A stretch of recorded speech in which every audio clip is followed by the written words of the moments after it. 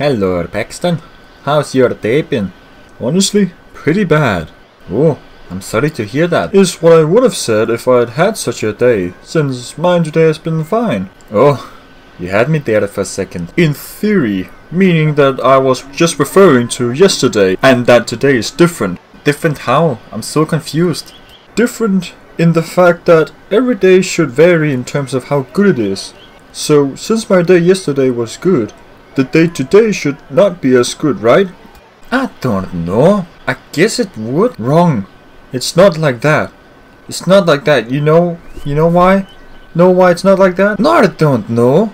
I don't get it. Because my day has been better than yesterday. Paxton, are you alright? What do you mean? You're usually not like this. Not like what? Well, not so confusing. Oh, that. Well, I've recently developed a habit of fumbling over my sentences. Right. Um, I've got to go, so see you around or something.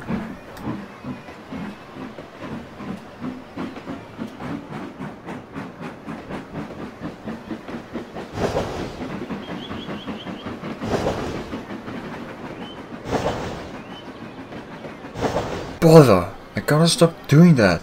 Everyone thinks I've gone mad. Hello, Paxton. Hello, sir. What can I do for you? There's a rather important train tomorrow that I would like you to take. Well, sir, you see,